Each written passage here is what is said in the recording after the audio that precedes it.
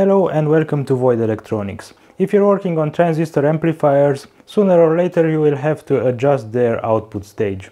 And the output stage usually has two adjustments, an offset adjustment and a bias adjustment. So in today's video I will show you what all these mean and how you can adjust them. So let's get started.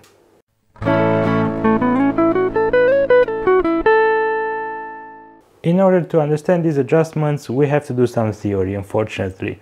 So um, here's what the power stage looks like for a class B amplifier.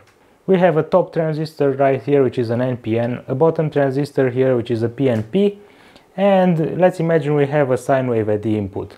Now if we apply this sort of sine wave at the input, what happens here is that the top transistor conducts for the positive half cycle of the signal like so and the bottom transistor conducts for the negative half cycle so that at the output we get something that approximates the input so it, it will be more or less like a sine wave. And I'm saying more or less because this topology has a huge disadvantage that makes it basically unusable in audio applications and that is crossover distortion.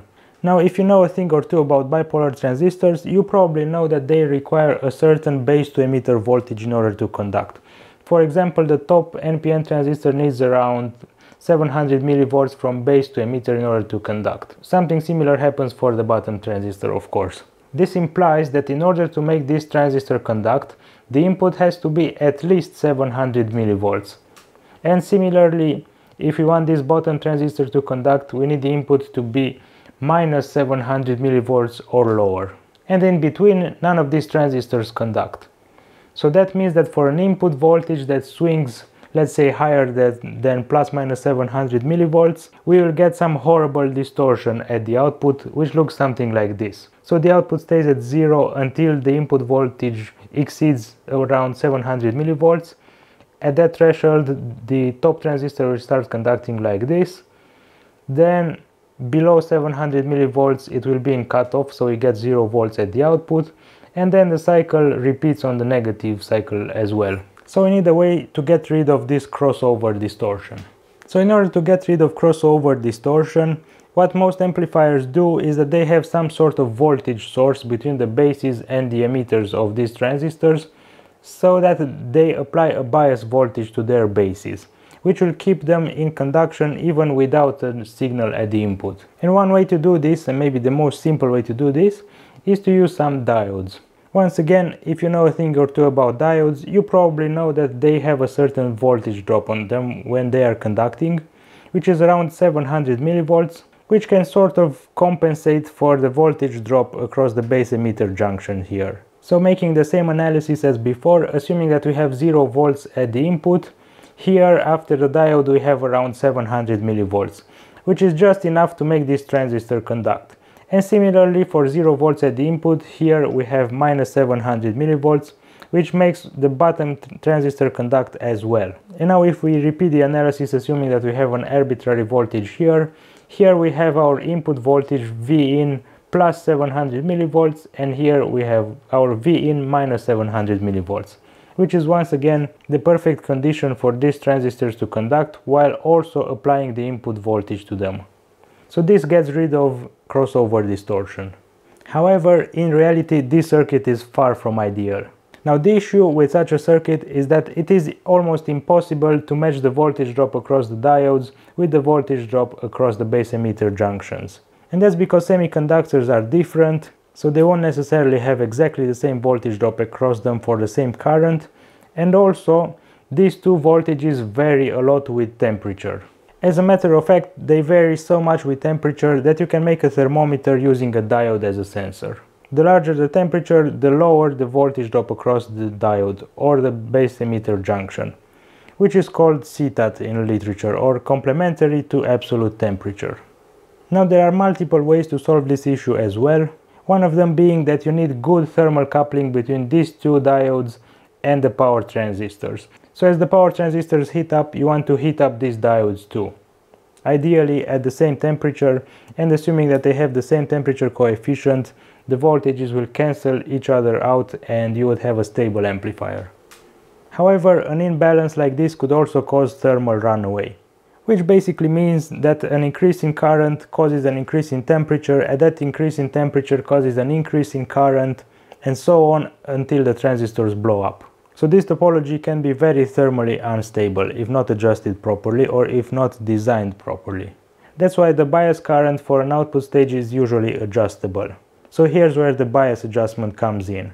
Now this is not drawn here, but what you can do is you can vary the current through these two diodes, which basically changes the voltage across them, which in turn changes the base currents, which causes some collector currents to flow all the time and you usually can adjust the collector currents from 0 to a reasonable value so that you get rid of crossover distortion. The only caveat here is that you need to wait for the transistors to heat up and you need to monitor the bias to make sure that the amplifier doesn't go into thermal runaway.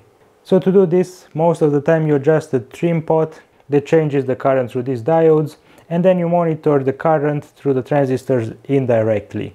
You don't actually put an ammeter in here because that's a bit inconvenient. However, most amplifiers have some emitter resistors here and if you know their value and if you measure the voltage drop across them, you can simply derive the current using Ohm's law. So this is what we're going to do today. The next adjustment that we need to talk about is the offset adjustment. And in order to talk about this, we have to go deeper into how amplifiers usually work. This takes us to the schematic that we have right here. So here we have the class B output stage and for simplicity we are ignoring the bias diodes that we discussed earlier. Now an amplifier like this is usually driven in a feedback loop using a differential pair. So here we have a differential pair using JFETs where we applied our input signal to one of the inputs of this differential amplifier and on the other input we applied the output voltage of the big amplifier let's say of the power amplifier. And in order to drive the power amplifier we use this output of the differential pair. And this creates a feedback loop. This means that this differential pair will do its best to keep this input and this input equal which means that it will do its best to make the output track the input. So with this in mind let's see what offset is and where it comes from well, by definition, the offset is the output voltage of an amplifier when we have 0 volts at the input. Ideally, of course, we would like this to be 0, however, it is impossible to get it down to 0 in most cases. Let's see why that is. Apparently, in a topology like this one, the offset comes mostly from the mismatch of the input transistors. So it all boils down to the fact that real components are not ideal. We would like these two transistors to be perfectly identical, however in practice it's almost impossible to get them perfectly identical. So one way or another we have to make the circuit tolerant for that. And to do this we have the offset adjustment right here.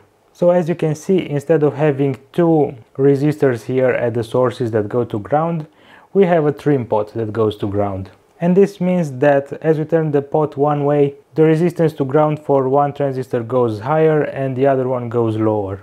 And this way we can compensate for the different gate to source voltages that these two transistors might have. And this way we can trim the output for 0 volts when we have 0 volts at the input. Okay, enough theory for today, let's just do the adjustments. So the first step is to identify the adjustments. This is the power amplifier board and as you can see we have two trim pots here for each channel. The manual says that this is the offset adjustment and this is the bias adjustment and it kind of makes sense because you can trace the wires a little bit. So look, the bias adjustment is close to some wires that go to the power transistors and the offset adjustment is close to this black component which is a matched JFET pair. So if you don't have the schematics, they're pretty easy to figure out. And in order to measure the voltage across the resistor, we have to identify the resistor, which is this one. And this is a weird resistor actually because it's a 3-pin resistor, it's like a center tapped resistor or whatever you want to call it.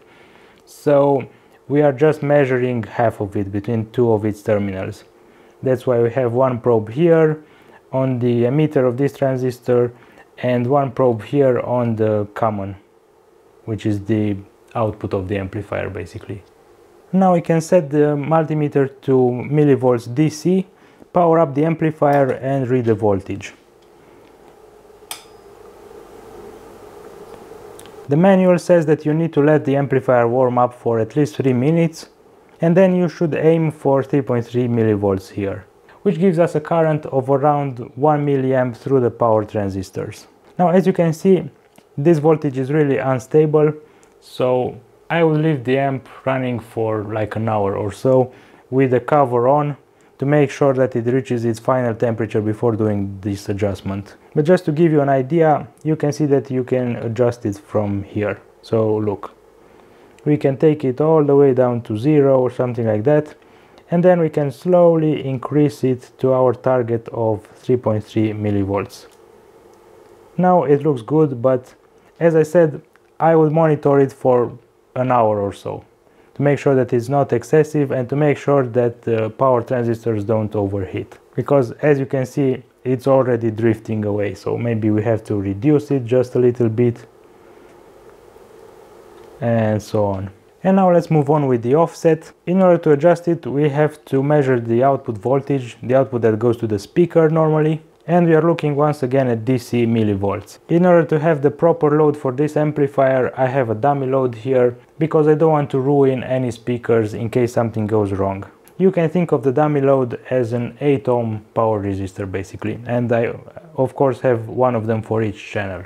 So let's power up the amplifier and see what we get at the output. Once again I think it's a good idea to let it stabilize. As you can see it starts with a pretty large offset and then the offset gets lower and lower.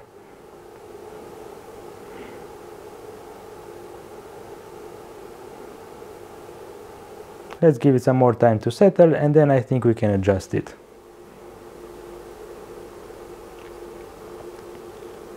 Okay, let's assume that this is stable and now we can slowly adjust it and monitor the voltage. Let's see if we can get it to zero.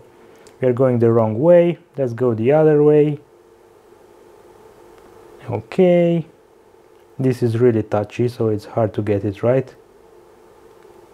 Anyway, a few millivolts is acceptable. So I would say this is good enough. Once again, I think it would be ideal to monitor it for like an hour or so. And in case you're wondering, crossover distortion is usually easily observable using an oscilloscope. However, this is a really dangerous experiment and if you don't know what you're doing, you can easily fry your amplifier or the oscilloscope. And that's because some of the outputs of uh, certain amplifiers are not referenced to ground. And if you ground them using the oscilloscope, that basically shorts out half of the output stage, which can destroy your amplifier or the oscilloscope. In my case, the output is referenced to ground, so we are safe. Anyway, we have a signal generator connected at the input of this amplifier. It provides uh, 1 kHz at 1 volt peak to peak. And we are looking at, this, at the speaker output using the oscilloscope. Okay, the bias is all the way down to zero. Let's see if we can notice some crossover distortion. Well, not really. Apparently this amplifier works really well with zero bias. This is weird but let's zoom in and I think we can see it. Okay increase the volume maybe. And maybe you can barely see that we have a kink there. So that line is not perfectly straight. So let's increase the bias and see what happens. I don't know if you can see it on video but I increased the bias just a little bit and now we get a straight line here. The kink is gone so it really matters. This is zero bias and this is with the bias. However it's really subtle here. Okay so i hope this video managed to demystify just a little bit these topics of offset and bias adjustments for transistor amplifiers. And if you did please give it a thumbs up. And also if you're interested in more content related to electronics and programming please subscribe to this channel because there is more content like this on the way. That's it for now. Bye